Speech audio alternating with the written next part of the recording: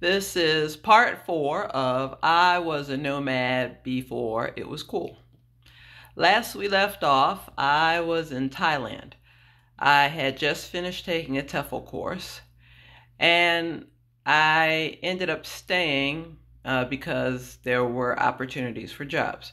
So, first, a TEFL course is the acronym Teachers of English to students of foreign languages. Well, that's TESOL or TEFL, teacher teaching English as a foreign language. But and I stumble on that because there are a lot of different acronyms for that. But essentially, a TEFL course or a TESOL course is designed to teach native English speakers how to teach English to non native English speakers, uh, normally in their home country, so abroad.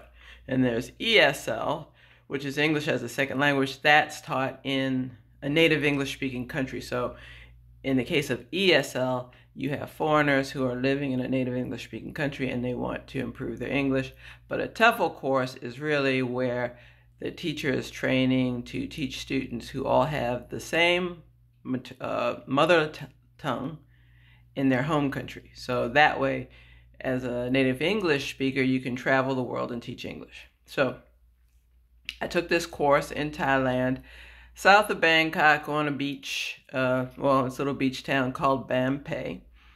And what had happened was I was really living in Japan. I took the course and I loved Japan. I mean, sorry, I loved Thailand. And there were lots of job opportunities. I was offered a job. So I decided to stay in Thailand. And what I did, I took my return trip back to Japan to collect my things. And I returned to Thailand almost immediately. Well, I guess within a month. You know, I had to travel around and see things. It's one of those things. Anyhow, um, I started teaching English there, and I was very, I was very happy.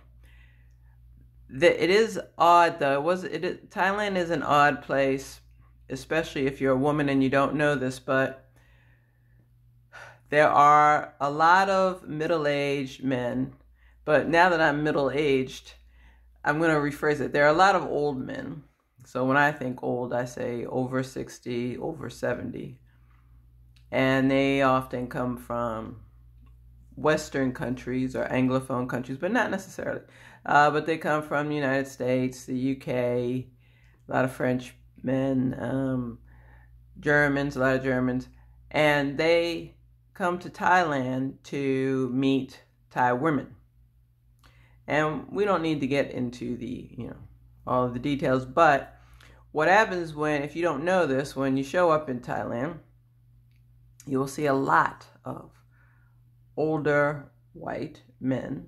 I like white men, don't worry, I'm not I'm not stigmatizing anyone, but very old. And they're with little teeny tiny Thai, hopefully women. So Thai women do, not all, I'm not jumping into the stereotypes too deeply, but Thai women do often look younger than what their biological age is. So it looks like you see very old men walking around with little girls. Often, usually, they are over 18, but maybe they're not.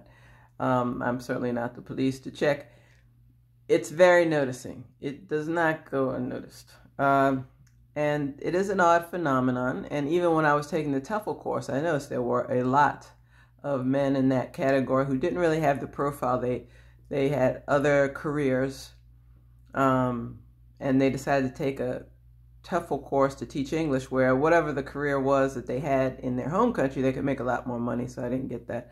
But then slowly I started to get it. it. It's very easy to find Thai girlfriends, get married. There is a sex trade also that is tolerated there. I do not know what it's like now. I, I suspect nothing's changed. But all that's to say, you notice this right away, and you have that juxtaposed with, you know, my enjoyment of Thailand, just the net, the natural beauty, the food, the culture you have two different sides. So sometimes it was difficult for me as a highly liberated woman to handle both ideas. Anyway, um, I did enjoy Thailand. And I taught for a while. I taught English for a while. And I was offered from the company that provided the TEFL course that I took and successfully finished. Uh, one of the trainers actually offered me a position as an assistant teacher trainer. So what that means is when you know when you take the TEFL course, you have a head trainer, and that's someone who has taught for a long, taught English for a long time. They've gotten a, a higher certification, and they're teaching native English speakers how to teach English. I was asked to be an assistant trainer, and I was just that, only an assistant. I, am certainly not saying, "Oh yes, I was so wonderful they made me head." No, no, no, no, no. No, it was really assistant, um, and I think it's from all my years, and I have a feeling it's from all my years in professional practice as an architect that may have led to that because a lot of the things that an assistant did weren't they had they didn't have a lot to do with the teaching of or training of new teachers it's more the business side and keeping the clients happy who are also the trainees it, that was more my job so i think that's probably why um, i was asked to do that uh, but I thought it was great. It meant a pay raise, uh, and also they provided a place to live, uh, rent free. So yeah, I was pretty happy for quite some time doing that. The other thing that happened, which is it's not unusual, but it's not normal for all countries. Really, in Thailand, it's it's very involved to get a visa to stay, you know, for a year or two years of work a work visa, those things. They don't really do it like that. What you do is, um, I believe I forget how long. I think you do have like three months uh, on a tourist visa if you're if you're an American or a Canadian, something like that.